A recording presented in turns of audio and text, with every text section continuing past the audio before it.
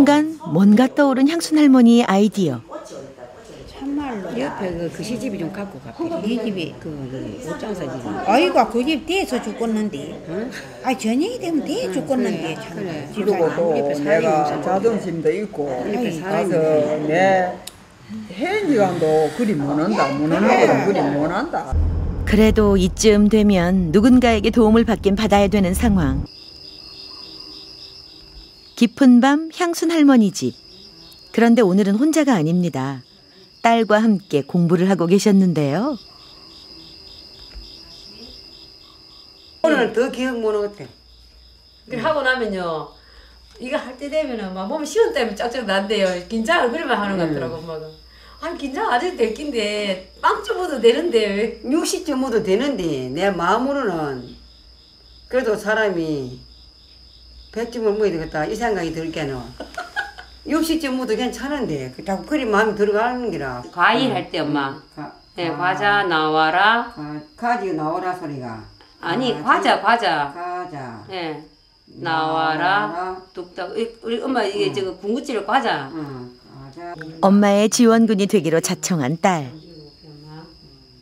어렵게 시작한 공부를 받아쓰기 때문에 포기하게 할 순 없습니다. 다시. 다시 꼼지락 꼼지락 아, 또 봐 또 엄마 또 미음 좀 잘못 또 썼잖아요. 미 앞을 앞에서 깨야 되지? 응. 응. 응, 엄마 그거 맨날 까먹어. 자꾸 그 자꾸 그 까무진다 그래. 뭐 엄마 나이보다 더 많은 사람도 더 잘하는 사람이 있는 건 저는 알고 있거든요.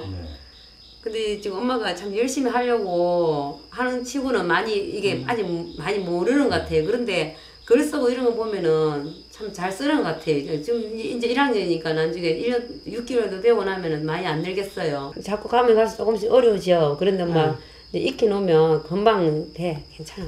엄마 잘할 수 있어. 잘잘 안 될라 잘 안 될라 힘든 거 알아, 엄마. 우리도 때가 이제 영어 단어 외우다시피 힘든 거 똑같은 거야. 엄마 이거 한번 써보세요. 용기 주고 힘이 되어주는 딸이 이렇게 곁에 있으니 향순 할머니는 참 든든합니다. 그래 크게 쓰니까 그 다음에 요 위에 글씨 위에 무조건 순서는 위에부터 쓰거든. 예. 한편 다른 대부분의 할머니 학생들은 자식들이 모두 외지로 나가 혼자 지내고 계신데요.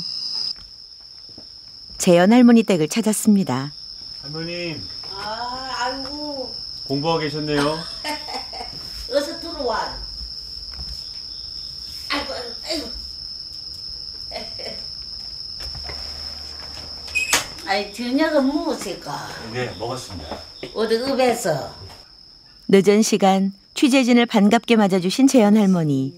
공부를 가르쳐 달라고 미리 부탁하셨는데요. 이것도 하였습니다는. 이게 그렇죠 예. 긴장돼서 그러세요? 한번 진정을 해서 모르게 아는 것 같으면은 그라 느낀데 일하다 이 모르는 자가 있으면 아예 아무래도 안 생각해지는 기라. 막 그렇게. 막 떨리세요? 틀릴까봐? 음, 그렇게는 진정을 해서 그런 기라. 속삭 였어요. 쏙, 한번 다시 싹, 해보세요. 쏙, 쏙, 싹, 여, 어요.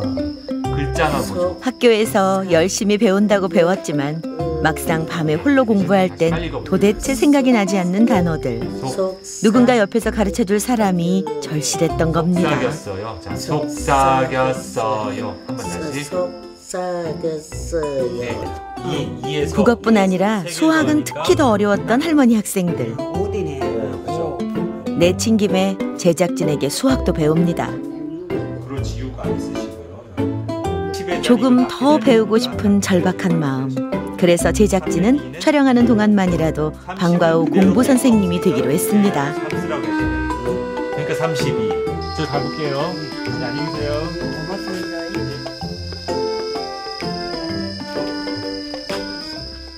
학교에서도 틈틈이 계속되는 공부 과외. 제작진도 열심히 공부를 배우는 할머니들은 더 열심입니다. 하나라도 더 배우고 싶은 마음에 경쟁도 치열해졌는데요.